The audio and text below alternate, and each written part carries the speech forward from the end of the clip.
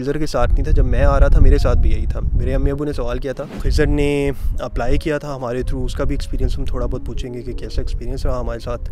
फिर access future के through हमने जो है वो जर्मनी में कदम रखा है। तो काफ़ी लोगों का मुझे मैसेज आता है कि जी फ्री वाला कोई चक्कर नहीं है ये दो बीस तीस लाख रुपया देना पड़ता अगर आप ऐसा सोच रहे हो कि यार ठीक है मैं उधार पकड़ के आ जाता हूँ और यहाँ पर आके मैं मंथली फिर मैं वापस कर दूँगा। क्या ये पॉसिबिलिटी होती है कि आप मंथली वापस कर दूँ? और लोग तीन चार महीने उसमें काम करके तकरीबन बीस लाख रुपया कमा रहे हैं।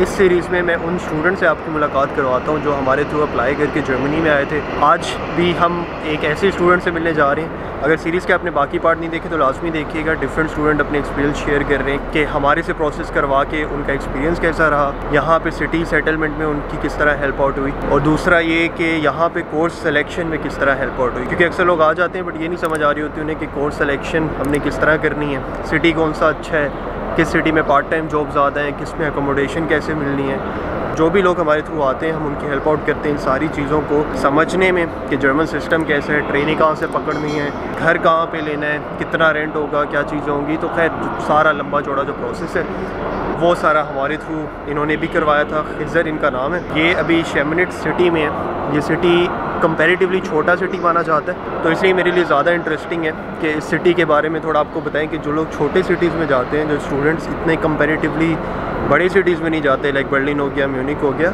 उनका लाइफ कैसा होता है, वो लोग अपनी पार्ट टाइम जॉब्स जो हैं, वो कैसे मैनेज करते हैं? एक्सपीरियंस जो हमारे साथ उनका रहा, वो भी शेयर करेंगे।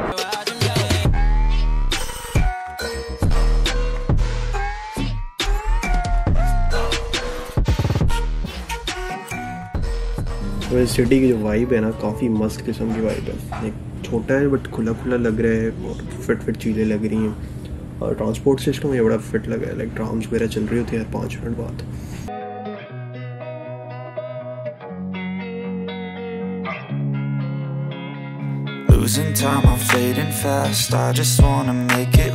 तो ये लें भाई मैं पहुँच गया हूँ खीजर की तरफ़। खीजर ने आते ही खाना रेडी किया हुआ है बड़ी फिट किस्म की बिरयानी। से hi to my blog hello Khizar का मैंने तारुफ करा दिया खिजर हमारा one of the earliest client है मेरे ख्याल में काफ़ी पहले आया था। साल हो गया यहाँ पे आए हुए ना? यहाँ पे आए। हुए हाँ साल हो गया। खिजर कौन सी सिटी में सिटी तो हमारी कैबिनेट्स है। शुरू में तो ये नाम लेना था लेकिन अब हम कंप्लीट स्टोरी जानेंगे थोड़ा खिजर की कि कैसे कैबिनेट्स आना हुआ। क्या पढ़ रहे हैं यहाँ पे पाकिस्तान में कहाँ पे थे कहाँ से डिग्री की इन्होंने। और कुछ चीज़ें मैं बता दूँ खिज़र को मैं कैसे जानता हूँ मेरे ख्याल है काफ़ी टाइम हो गया कुछ साल पहले की बात है साल सवा साल हो गया हाँ एक साल। खिज़र ने अप्लाई किया था हमारे थ्रू उसका भी एक्सपीरियंस हम थोड़ा बहुत पूछेंगे कि कैसा एक्सपीरियंस रहा हमारे साथ। पहली चीज़ तो ये कि यार पाकिस्तान से कहाँ से पढ़े हो और कौन कौन सी डिग्री की है? सबसे पहले तो मैं हूँ आज़ाद कश्मीर का बेसिकली आज़ाद कश्मीर में स्कूलिंग वगैरह उधर से ही हुई है तो ब्रीफली मतलब 2005 का अर्थक्विक हुआ है। वो थोड़ा फेस किया है उसके बाद सबसे ज़्यादा नुकसान मेरा ख्याल है वहीं उसी साइड पे जी seventy five thousand minimum casualties Zafarabad. में बात थाउज़ेंड इतनी हुई थी मिनिमम तो मेरी फैमिली का बड़ा लॉस हुआ था उसमें। मकान वगैरह गिर गए थे इवन मेरे काफ़ी रिलेटिव वो गिनने पे आऊँ तो लगेगा काफ़ी टाइम तो ये सीन था। फिर उसके बाद कॉलेज वगैरह के टाइम पे जो है वो भाई थे बड़े उन्होंने डिसाइड किया था कि इसको बाग से बाहर भेजना है तो फिर रावलपिंडी आ गया पंजाब ग्रुप ऑफ़ कॉलेज़ में जो कि उस टाइम बड़ा हाइप चल रही थी उसकी। तो वो किया। उसके बाद फिर universities Punjab group of college में अच्छा परफॉर्मेंस रही थी मतलब एफएससी में। तो काफ़ी यूनिवर्सिटीज़ अलाउ कर रही थी लेकिन मैं कस्ट में गया हूँ। पिंडी में कस्ट है जी capital university of science and technology ये मोहम्मद अली जना यूनिवर्सिटी जो इस्लामाबाद कैंपस था कराची का, इसका नाम चेंज हुआ था। उधर एक्चुअली मैं छः मंथ वेट करके गया था, क्योंकि मेरी फ़ील्ड थी फिजिक्स की पीछे, और एडमिशन वगैरह आ रहे थे काफ़ी मतलब जो इंजीनियरिंग होती है मैकेनिकल सिविल इलेक्ट्रिकल अपने साथ ये अच्छा किया था कि छः मंथ थोड़ा अपने आपको टाइम दे के तो मैंने फ़ील्ड चेंज की थी। मैं सॉफ्टवेयर और कंप्यूटर की साइड आ गया था तो वहाँ से ये किक मिली है कि एक नई फ़ील्ड सीखने को और मज़ा भी आ रहा है इवॉल्विंग चीज़ें। तो फिर चार साल वो लगे, और उसके बाद चार साल के बाद मिले हमें मुनीब भाई, और एक्सेस फ्यूचर मिला हमें। फिर एक्सेस फ्यूचर के थ्रू हमने जो है वो जर्मनी में कदम रखा है। एक्सपीरियंस पूछते हैं जर्मनी में क्यों? मतलब काफ़ी और भी ऑप्शन आई एम श्योर आपके पास होंगे क्योंकि लोग एक्सप्लोर करते हैं यूके साइड को कनाडा साइड को। तो जर्मनी क्या मेन फैक्टर था? लाइक यूनिवर्सिटी टाइम पे मेरे साथ एक दो लड़के थे जिन्होंने अप्लाई किया था ऑस्ट्रेलिया वगैरह। किस्से कहानियाँ थे वो ये थे कि यहाँ पे एक्सपेंस थोड़े ज़्यादा हैं फीसिस वगैरह बहुत ज़्यादा हैं, जो सबसे मेजर चीज़ थी। तो जर्मनी के बारे में तो एक तो पहली चीज़ आती है कि पब्लिक यूनिवर्सिटीज़ फ्री हैं। सेमेस्टर कंट्रीब्यूशन होती है, लेकिन फ्री हैं टू बी ऑनेस्ट फ्री हैं। दूसरी चीज़ ये थी कि जर्मनी उस टाइम काफ़ी हमारी यूनिवर्सिटी और जो हम पूछते हैं ना लोगों से, उस टाइम भी काफ़ी हाई था। फिर बंदा अपनी रिसर्च करता है कि हाँ यार जर्मन यूनिवर्सिटीज़ काफ़ी अच्छी चीज़ें ऑफ़र कर रही हैं रिसर्च वगैरह काफ़ी अच्छी चल रही है। तो कंपेयर टू मैंने इवन के इटली का भी देखा था। जर्मनी कुछ एक दो और कंट्रीज़ थी मतलब उनका भी देखा था। लेकिन फिर एट लास्ट हम तीन चार फ्रेंड्स थे हमने डिसाइड किया था कि सातवें आठवें सेमेस्टर में कि हम जर्मनी जाएँगे। तो फिर उधर से ये सीन बना था जर्मनी का।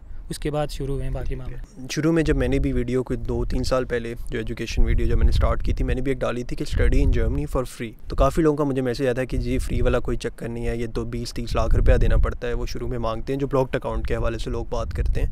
फ्री का कॉन्सेप्ट ये है कि यूनिवर्सिटी आपसे कोई फ़ीस चार्ज नहीं कर रही। ओबियसली रहने के लिहाज से वो जो अगर या तो आप स्कॉलरशिप पे आओ फुल हंड्रेड परसेंट स्कॉलरशिप पे तब आपको वो चीज़ें नहीं देनी पड़ेंगी। लेकिन वैसे अगर आप आते हो तो ओबियसली रहने सहने का आपको फिर देना पड़ता है। आ, लेकिन ट्यूशन फ़ीस यहाँ पे फ्री है। सबसे पहले बात हुई थी तो खिजर ने ज़्यादा सवाल ये किया था क्या मुनी भाई आ, जो पहला साल का है ना ख़र्चा वो तो चलो तंगा हो हो के फैमिली कुछ कर दे। बट जो फिर सेकेंड ईयर का जो ख़र्चा है, वो वहाँ पर मैं निकाल पाऊँगा कि नहीं निकाल पाऊँगा? क्योंकि मेरी फैमिली फिर मैं अगले साल मांगना ओबियसली बड़े मुश्किल हो जाता है स्टूडेंट्स के लिए कि यार, पहले एक साल माँ बाप से आपने इतना दस हज़ार यूरो लिया, फिर दोबारा उन्हें कहोगे तो वो कहेंगे, यार मतलब क्या सीन इतना महँगा है तो यहीं पे कुछ कर लो ना। और ये केस खाली खिलजर के साथ नहीं था। जब मैं आ रहा था, मेरे साथ भी यही था। मेरे अम्मी अबू ने सवाल किया था कि, बेटा, चलो पहले साल के तो हम कर देते हैं, लेकिन दूसरे साल फिर हमसे एक्सपेक्ट ना करना कितना हो पाएगा। क्योंकि उनकी भी जेनवन रीज़न होते हैं, यार अच्छा खासा पैसे होते हैं जो आपने निकालने होते हैं। तो खिजर का ये बड़ा जेनवन सवाल था और सबसे बड़ा कॉन्सर्न मेरे ख्याल में यही था। मैं यही पूछने लगा था कि सबसे बड़ा कॉन्सर्न क्या था आपका? जब यहाँ पे आ रहे थे। एक्चुअली सबसे पहली बात तो ये है कि ब्लॉक अमाउंट में वाकई में सबको मसले हैं और फैमिलीज़ डिफरेंट है। मेरी फैमिली ने मना तो नहीं किया था लेकिन फिर भी बंदे को होता है कि यार वापस करनी है। हम्म। तो मसला था इसमें सबसे बड़ी बात। पैसा क्योंकि जाना हो तो फिर थोड़ा होता है और ब्लॉग ही करवाना है लेकिन वो आइडिया नहीं होता स्टूडेंट्स को कि वापस भी हमारे उसमें आना है। चाहे चंक्स में आना है मतलब एट सेवेंटी समथिंग यूरो दे रहे हैं वो मंथ का तो उसमें बड़ी टेंशन होती है। क्योंकि जब एक टाइम आप इकट्ठा साइन करके दे रही होती हो वो इक्कीस बाईस लाख पाकिस्तानी जो ब्लॉक अमाउंट अभी चल रही है अभी तो ज़्यादा हो गई है। बड़ा मसला था इसमें। तो एक तो सिक्योरिटी के हिसाब के वापस भी आएँगे कैसे आएँगे? तो ये प्रेशर एक होता है। किसी से आधे पैसे भी लेकर आओ ना तो मेरे हिसाब से मतलब स्पॉन्सर तो आपका एक है उसके उस बाकी किसी से लिए।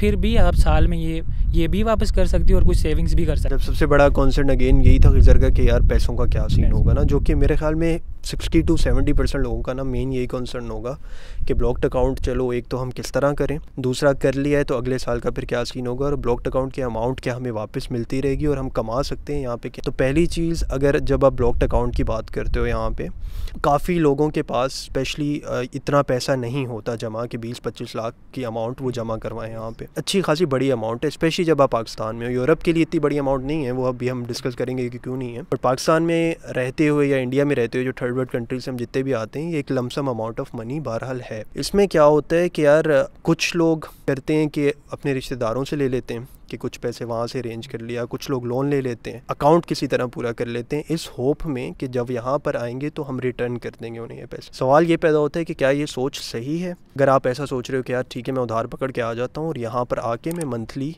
फिर मैं वापस कर दूँगा, क्या ये पॉसिबिलिटी होती है कि आप मंथली वापस कर दूँ? एक्चुअली बैक इन माइंड थोड़ा सा प्रेशर तो होता है वापस करने का मतलब। अभी अगर किसी से लेके आते हो चलो फैमिली ने स्पॉन्सर किया भाई फादर ने वो ये होता है कि अपने आराम से भी दे देंगे कोई इशू नहीं है। रिलेटिव्स वगैरह दोस्तों से वो होता है माइंड में कि प्रेशर होगा। लेकिन इसमें सीन ये है कि आप अगर जल्दी आके और जॉब या वर्क स्टूडेंट तो खैर लेट ही मिलेगा आपको पता लगते लगते और जॉब या बाकी मामला जल्दी शुरू कर देते हो तो फिर आप इजीली वापस कर सकते हो। क्योंकि अगर लेट सपोज़ अगर आपने फुल टाइम एक जॉब शुरू कर दिया और कोई भी तो आप मंथ में मिनिमम 1800 से 2000 यूरो आराम से कमा सकते हो उस फुल टाइम से। उसमें आपका एक्सपेंस होगा मैक्सिमम जो हमारे तो कम चल रहे हैं मैक्सिमम पाँच सौ छः सौ यूरो कर लो आप। तो बाकी आपकी सेविंग्स हो रही हैं, वो आपकी अलग से, और जो आपका ब्लॉक अमाउंट आ रही है चांस में, वो आप वापस करते रहो साथ साथ मतलब आप महीने में आराम से डेढ़ से दो लाख रुपया वापस भेज सकते हो ठीक है। अगर आपने मांग के भी लिया है तो। जिस तरह खिजर बता रहे थे कि फावे जो हमने पिछली वीडियो एक डिस्कस भी किया होगा उसमें best part time jobs in Germany फावे company है फोक्स वैगन की वी डब्ल्यू कहते हैं इंग्लिश में वो तकरीबन आपको छः छः लाख पर मंथ का दे रही है। और लोग तीन चार महीने उसमें काम करके तकरीबन बीस लाख रुपया कमा रहे हैं। ये नहीं है कि कोई हम स्कैम कर रहे हैं या कोई अट्रैक्ट कर रहे हैं ये फैक्ट्स हैं। लोग यहाँ पे कर रहे हैं कोई छुपी बात नहीं है। लोग अक्सर बताते ही नहीं है ऐसी चीज़ें। वो कहते नहीं यार हम कमा रहे हैं इस तरह तो कंपटीशन बढ़ जाएगा लोग ज़्यादा अप्लाई करेंगे हमारी जॉब्स ना चली जाएँ। बट अगेन ये ऐसी चीज़ है जो मेरे ख्याल में बतानी चाहिए हर किसी को क्योंकि हर किसी का यार रिस्क लिखा होता है ठीक है? आप जितना इन्फॉर्मेशन दोगे उससे आपके रिस्क में कमी नहीं आएगी बल्कि बढ़ता ही है। कोशिश फिर यही जिस तरह खिजर भी कह रहे थे कि अभी होगी कि प्रैक्टिकम अप्लाई करें वर्क स्टूडेंट अप्लाई करें ओबियसली वो अच्छी बात है शुरू में आप स्टेबल हो जाओ पैसों की तरफ़ से सेफ़ हो जाओ बाद में आप ये वाले काम भी कर सकते हो साथ साथ भी कर सकते हो। और जॉब्स का वैसे ये होता है मतलब थक बढ़ा जाता है। थकता है हाँ, ये बात है फ़िज़िकल हाँ इसमें थोड़ा सा ये कि अपने आप को बंदे को रखना पड़ता है थोड़ा अपने हवास में और बाकी सब कुछ मैनेज करना पड़ता है क्योंकि स्टडी भी तो करनी है हमारी फ़र्स्ट प्रायोरिटी वही है। हम्म। साथ में प्रैक्टिकल चल रहे होते हैं। और दूसरी चीज़ ये कि इसमें बस दफ़ा होता है ना बंदा थक के थोड़ा सा डिमोटिवेट हो जाता है यार खाना भी बनाना है अभी शिफ्ट हम्म। भी लगानी है रात की फिर आके सोने का टाइम कभी शिफ्टें चेंज हो रही होती हैं। तो इन चीज़ों के साथ थोड़ा सा डील करना चाहिए। और जो इसमें सबसे बड़ी चीज़ है शुरू में आके बंदों को होम सिकनेस फील होती है वो कि सबसे बड़ा जो मसला है तो वो अगर उसके साथ बंदा कर जाए ना मतलब फिर ईजी है फिर बंदा नहीं हिम्मत हारता। हाँ थोड़ा सा हिम्मत पकड़नी पड़ेगी लेकिन उसका फिर रिवॉर्ड जो है वो भी आप देखोगे कि काफ़ी अच्छा मिलता है। अच्छा आप बात करते हैं हमारे साथ जो जब प्रोसेस स्टार्ट हुआ पहले तो मुझे क्यों मुझसे किस तरह रबता हुआ और क्या लगता था कि यार क्या सीन है बॉय बॉय का? एक्चुअली मुझे तो आपका फ्रेंड्स ने बताया था एक्टिव हम्म। थे काफ़ी वो यूट्यूब वगैरह ब्लॉगिंग क्योंकि उनका मुझसे पहले का जर्मनी का सीन बन रहा था। टू बी ऑनेस्ट आपकी पर्सनैलिटी से काफ़ी इम्प्रेस थे वो जो आप जिस तरह से आप गाइड कर रहे थे। ये कोई मतलब मैंने, मैं तो आगे हूँ अब यहाँ पे आके बोल रहा हूँ, लेकिन ये था वैसे। एक जो फ्लो है ना, वो काफ़ी मतलब आपने नॉर्मल तरीके से, जहाँ तक मेरे हिसाब से बात है नॉर्मल करके बताया था कि ये ये चीज़ें इस तरह से चलना है, आइल्स तो फलाना करो। प्रोसेस इन्होंने काफ़ी सिंपल कर दिया था मेरे लिए कि हाँ ये ये होना है, फिर आ जाएगा जी वीज़ा सीन था। मैं जो है, वो ठीक हम आया हूँ मतलब डिसेंट मैंने आप, आपको, आपकी जो है एक्सेस फ्यूचर उसको दी है, और वो इतना कुछ ज़्यादा नहीं था। तो एक दूसरा फ़ायदा ये हुआ है उसमें आपने प्रोसेसिंग सार, मेरी कर दी है और बाकी सारा कुछ मतलब इवन के आइल्स से लेके गाइडेंस से लेके अकोमोडेशन तक वो सब कुछ इन्होंने बता दी है। फिर और क्या चाहिए बंदे को? उसमें उसमें ये होता है कि बच्चा ना जब वहाँ बैठा अप्लाई कर रहा होता है तरह से ठीक भी है कि उसे आइडिया नहीं होता यहाँ की चीज़ों का। ना उसे एकोमोडेशन का आइडिया होगा ना इतना कोर्सेज़ का यूनिवर्सिटीज़ का आइडिया होता है सिटी कौन सा अच्छा है उसका भी अक्सर आइडिया नहीं होता। तो एक बंदा यहाँ पे होता है उसने देखी होती है। लाइक मैं तकरीबन कोई फिफ्टी सिक्सटी सिटीज़ घूम फिर चुका हूँ। मेन मसला आता है वहाँ पर लोगों को एक तो सही गाइडेंस नहीं मिल रही होती। जिस तरह मैं कह रहा था कोर्स कौन सा खिजर मुझे कहता है कि कौन से सेलेक्ट तो मैंने एक बात की थी कोर्स के नाम पर आपने नहीं जाना पहले इंटरेस्ट देखो अपना कि इसका कैरिकुलम आपके इंटरेस्ट से मैच कर रहा है कि नहीं कर रहा? क्योंकि अगर आप रैंडम कोर्स पकड़ के आ जाओगे तो हो सकता है उस पर दिल ना लगे। फिर इतने पैसे लगा के आप आए होते हो तो बड़ा वो डिमोटिवेट हो जाता है बंदा कि यार ये क्या सीन है? फिर कुछ ऐसे सिटीज़ होते हैं जहाँ पर नहीं जाना चाहिए क्योंकि वो यू नो आबादी से दूर होते हैं पार्ट टाइम जॉब्स का सीन वहाँ पर कम होता है। तो आई थिंक आपको थोड़ा स्पेसिफिक रह के ना चीज़ों को टारगेट करना पड़ता है। अकोमोडेशन के स्कैम बड़े होते हैं। जैसे मैं अक्सर वीडियो में बात करते रहता हूँ वहाँ पर आप बैठे हुए तो यहाँ पे लोग कहते हैं हमने घर है हमारे पास आप आ जाओ आप बस पैसे ट्रांसफ़र करो हम घर आपके रिज़र्व कर देते हैं। यहाँ पे वो बेचारे लोग आते हैं तो उन्हें पता लगता है यार कोई घर वाला कोई चक्कर है ही नहीं। तो आई थिंक उस चीज़ों में फैसिलिटी या फैसिलिटेट हो जाते हैं ओबियसली जब एक प्रोफेशनल से आप सर्विसेज़ लेते हो। तो मेरा अब छः सात साल का यहाँ पर टाइम पीरियड हो गया है। तो अब आपने एक साल में माशाल्लाह काफ़ी चीज़ें सीखी होंगी यहाँ पे। तो सर मुझे लगता है पाकिस्तान में जो बैठे लोकल स्पेशली जो डील कर रहे होते हैं ना वो ठीक है शायद आपका वीज़ा वगैरह भी लगवा दें जो कि बड़े कम केसेस में लगवाते हैं। वो यहाँ पे आके कोई गाइडेंस आपको नहीं दे सकते। कि जी आप पार्ट टाइम जॉब्स कैसे अप्लाई करनी है एकोमोडेशन क्या क्या करें? इवन जर्मन उन्हें पढ़नी भी नहीं आ रही होती तो वो किस तरह से सही गाइडेंस देते हैं? मैं वैसे थोड़ा मेरे हिसाब से होना चाहिए वो एक ट्रस्ट होता है ना दोनों पार्टीज़ की तरफ़ से हम्म। वो होना चाहिए लेकिन हमारा है नहीं टू भी होना चाहिए हम हर चीज़ में खुद भी रहते हैं डरे डरे से और अगला भी रहता है डरा डरा के। I think for obvious reasons क्योंकि हमारे साथ हैंड भी बड़े हुए होते हैं वहाँ पे। ये इसमें कोई शक नहीं है होते हैं। अब यहाँ पे ये है कि आप अगर कुछ कर भी रहे हो ना एक घंटा भी जॉब कर रहे हो आपको पता है मेरे ये दस मिनिमम या बारह यूरो हो गए हैं। अब मेरे अकाउंट में आने ही आने हाँ, कहीं जा ही नहीं जो आपका हक है वो आपको मिलेगा। वहाँ पे मेन मसला यही है कि आप सब कुछ पे भी कर दो दे दो आपको हक आपका नहीं मिल रहा होता अक्सर। तो ये आई थिंक ट्रस्ट इशूज़ हैं लेकिन किस रीज़न की वजह से हैं वो मेरे ख्याल में बड़ी ऑब्वियस हैं क्योंकि पाकिस्तान में हर दूसरा बंदा ना ट्राई कर रहा होता है कि किसी ना किसी तरह पकड़ो इसे। आई थिंक ये रीज़न हैं। एक और चीज़ थी जिसकी मैं बात करूँगा प्रोसेस के हवाले से कि एक एक चीज़ होती है प्रोसेस में ट्रांसपेरेंसी शो करना। जब भी कोई क्लाइंट में लेता हूँ मेरी कोशिश होती है कि मैं उसे बताऊँ कि हम किन किन कोर्स में आपका अप्लाई करने जा रहे हैं। अगर आप किसी से भी प्रोसेस कराते हैं, आप उनसे पूछ लो कि यार, किस कोर्स में ना आप हमारा अप्लाई कर रहे हो, या अपनी तरफ़ से उन्हें कोर्स निकाल के दो कि मैं इनमें इंटरेस्टेड हूँ। क्योंकि अक्सर होता है वो एक दो यूनिवर्सिटीज़ में अप्लाई करके बैठ जाएँगे यूनिवर्सिटी का कोई पता नहीं रैंकिंग है, नहीं है, अच्छी है या नहीं है। तो आई थिंक ये बड़ी इंपॉर्टेंट चीज़ है कि एक तो कोर्स देख लो अपना, दूसरा यूनिवर्सिटी जिसके थ्रू भी अप्लाई करवा रहे हो, उससे पूछो कि यार मेरे किन यूनिवर्सिटीज़ में एप्लीकेशन जा रही है। क्योंकि एक रिस्पॉन्सिबिलिटी जो खिजर ने बड़ी अच्छी तरह की, ये मुझसे पूछता रहता था कि नहीं भाई, ये सिटी में मैं चला जाऊँगा, कि क्या सीन होगा ना? ये सिटी कैसा है सिटी में जॉब्स होंगी, नहीं होंगी, ये कोर्स कैसा है, इसकी डिमांड है कि नहीं? तो आई थिंक वो चीज़ भी बड़ी इंपॉर्टेंट रहती है, क्या ख्याल है? बिल्कुल, इसमें तो है वैसे, क्योंकि आप, जिस तरह से आपने कहा छः सात साल, इतना अरसा काफ़ी ज़्यादा होता है, क्योंकि एक साल में अगर मैं इतना कुछ सीख गया हूँ, आप तो माशाला से बहुत ही टॉप पे होंगे तो इस तरह की चीज़ें वैसे पूछना चाहिए भी और जो अपने हिसाब से होती हैं मतलब जिस तरह से आपने कहा कि फ़ील्ड रिलेटेड जो आपकी स्टडी है, वो सबसे इंपॉर्टेंट है। दिल लगेगा अगर आपका फ़ील्ड में तो तभी सब कुछ होगा, नहीं तो मुश्किल है। और ये हर बंदे का डिफरेंट होता है। लाइक कुछ लोग कराची से आते हैं, कहते हैं, नहीं, छोटे सिटी में नहीं जाना, वहाँ पे दिल नहीं लगेगा। हम आते हैं, हम कहते हैं छोटे में जाना है, बड़े में बहुत ख्वारी है, हमारा दिल नहीं लगेगा। तो बर्लिन में जाता हूँ एक हफ़्ता मतलब बड़ा अच्छा लगता है सारा, लेकिन एक हफ़्ते बाद मैं थका पड़ा होता हूँ। एज़ लाइक यार, चलो, दोबारा सुकून चाहिए मुझे। तो फिर किस कोर्स में आप यहाँ पर आए हो? और कोर्स का कॉन्टेंट किस तरह का रहा है आपको? वेब इंजीनियरिंग कोर्स का नाम है। Web engineering let to like computer science के लोग आ सकते हैं इसमें सॉफ्टवेयर इंजीनियरिंग में करके आया था। हम्म। तो कोर्स का नाम तो बड़ा अट्रैक्टिव है। मेरे एग्जैक्ट मतलब वो जो होता है ना एक टेस्ट उस हिसाब से है।